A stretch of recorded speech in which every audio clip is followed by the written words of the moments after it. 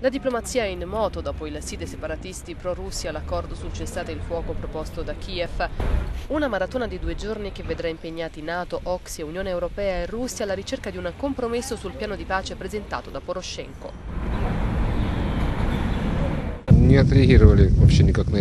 Il piano di pace di Poroshenko non ci interessa.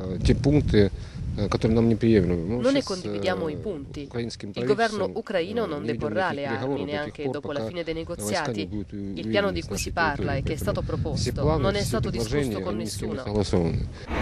A Lugansk, nell'est del paese dove si è combattuto pesantemente nelle ultime settimane, regna in queste ore una calma irreale.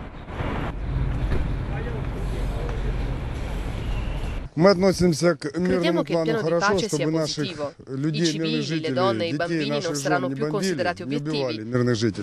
Le forze ucraine però non hanno smesso di combattere. Noi saremo sempre a favore di una soluzione pacifica.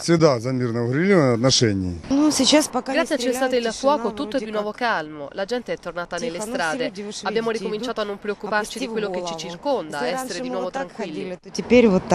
Dopo mesi di battaglia, il 20 giugno il neopresidente ucraino Poroshenko ha presentato un piano di pace in 15 punti. Tra questi l'amnistia per i separatisti che non si sono macchiati di reati gravi e il decentramento del potere.